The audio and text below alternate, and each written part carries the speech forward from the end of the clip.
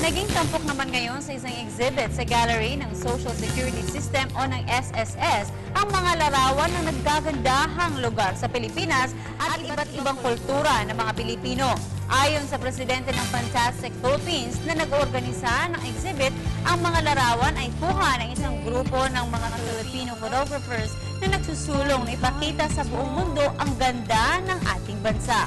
Kabilang sa mga dumalo sa exhibit si outgoing U.S. Ambassador Harry Thomas.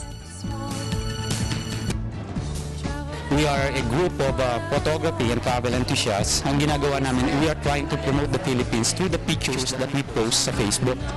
So, uh, from the pictures that we post sa Facebook, we got a lot of, uh, feedback, comments. Uh, usually they would ask question, where's that? How do we go there?